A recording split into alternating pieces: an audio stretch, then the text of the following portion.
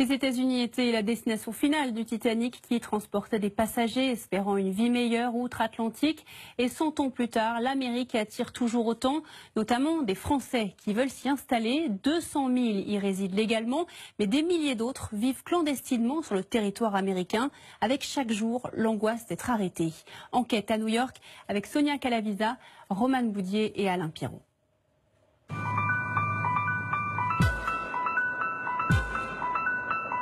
Vous ne verrez pas son visage et vous ne connaîtrez pas son vrai prénom.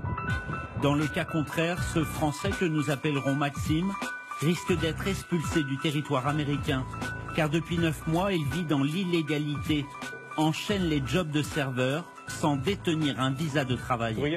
Vous voulez du gruyère Fries Des frites Oui, évidemment. Thank you. Avec plaisir. Welcome. Pour vivre son rêve américain, le Français n'a pas hésité à se faire fabriquer de faux papiers. Je suis revenu ici, j'avais pas d'argent du tout. Et il fallait vraiment que je travaille tout de suite. Alors, quatre jours après être arrivé aux États-Unis, j'ai trouvé un travail. Dans la foulée, je vais chercher mes faux papiers le même jour. Et voilà, quatre jours après, j'étais au travail. You want with an egg? Vous voulez avec un œuf Oh. dessus Un Croque, croque madame Son patron est au courant, mais il ferme les yeux, car à New York, la pratique est fréquente dans la restauration. Dans mon ancien boulot, quand je bossais à Manhattan, j'amène mes, mes photocopies de faux papiers, parce qu'on m'avait dit de faire ça. J'arrive, il me fait, mais non, il faut que je vois les vrais. Et là, du coup, stupeur. Et je fais, ils sont faux. Et là, il se met à se taper une énorme barre, à rigoler, vraiment, à dire, mais non, mais ok, je vais les regarder vite fait. Et finalement, on les a jamais regardés. Et peu importe les menaces d'expulsion affichées par le nouveau président Donald Trump. Mais ici, c'est comme ça que ça marche, c'est hypocrite complet, quoi. Du coup, c'est pour ça, quand j'entends Donald Trump, ça me fait bien rire, parce que surtout dans les villes comme ça, euh, t'as tout un pan de l'économie qui est, qui est basé sur, euh, sur des travailleurs euh, clandestins ou sans papier. L'immigration illégale aux États-Unis, un sujet tabou. Pas de statistiques officielles, mais selon des observatoires reconnus, il serait 11 millions à vivre clandestinement sur le sol américain, et parmi eux, 10 000 à 15 000 Français. Permis de conduire et carte de sécurité sociale. Ce faux numéro de sécurité sociale permet à Maxime de travailler aux États-Unis. Même si tous mes employeurs savaient que c'était pas légal, ça leur a permis de me déclarer quand même. Fait incroyable, l'administration fiscale américaine ne vérifie pas qui se cache derrière les numéros de sécurité sociale. Et ici, je veux voir mon nom, nana, et avec un Social Security Number. Aux États-Unis, l'impôt est prélevé à la source. Le comble, c'est que même illégal, notre Français est un contribuable en règle. Et donc les chèques sont taxés à 22%. En fait, je paye mes impôts comme tout le monde. Mais ce qui intéresse notre Français, ce sont surtout les pourboires payés en liquide. Depuis son arrivée, ce choix de vie hors la loi lui rapporte jusqu'à 1200 euros par semaine. Ça, c'est le cash. Je fais beaucoup de cash au travail. Le cash n'est pas taxé. Ça, c'est important. Comment dans un pays comme les États-Unis ultra sécuritaire peut-on aussi facilement tromper les autorités? Nous avons voulu faire le test. Direction le quartier du Queens avec notre Français Maxime pour découvrir ce supermarché des faux papiers. En caméra discrète, après quelques secondes, un vendeur nous interpelle déjà. Nous le suivons dans le hall d'un immeuble. Ça, c'est une carte verte. Combien ça coûte 140 dollars.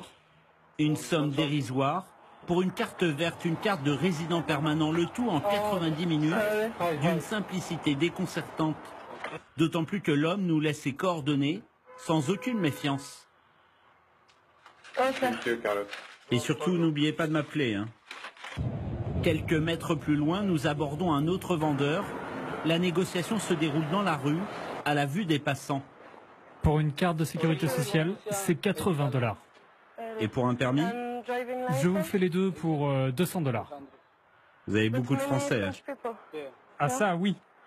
L'ambiance est détendue, pourtant les risques sont réels.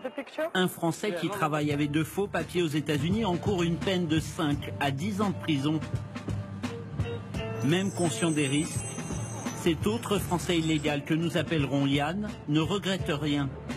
Venu il y a deux ans pour des vacances, ce serveur de 27 ans n'est jamais reparti et croit fermement dans son rêve américain.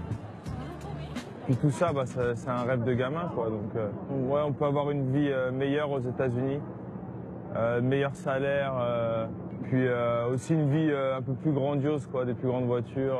tout est un peu plus grand ici. Mais pour l'instant, ses rêves de grandeur sont plutôt restreints.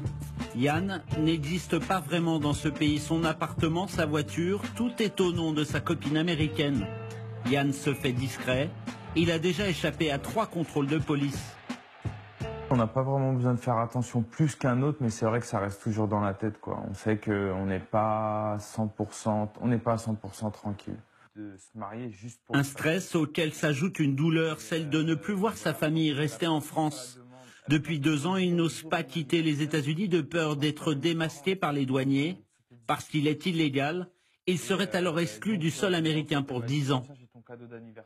J'ai perdu euh, mon oncle l'année dernière, donc j'avais le choix entre venir à l'enterrement ou pas. Euh, bah, j'ai décidé que je pouvais pas venir en fait euh, pour pas pour pas briser tout, tout ce que j'avais déjà euh, construit. J'ai ma petite sœur qui a donné naissance à mon petit neveu il y a un mois et, et donc voilà je peux pas le voir pour l'instant ça c'est terrible. Consolation pour Yann, il vient de demander la main de sa compagne américaine par amour. Cette union va lui permettre d'obtenir automatiquement une carte de résident, de quoi sortir enfin de l'illégalité. Voilà, et je vous rappelle qu'ainsi, entre 10 et 15 000 Français vivent illégalement sur le sol américain.